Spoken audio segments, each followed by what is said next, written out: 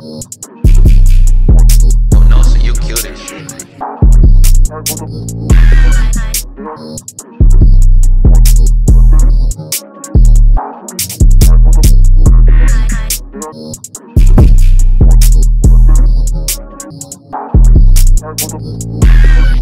Thank you.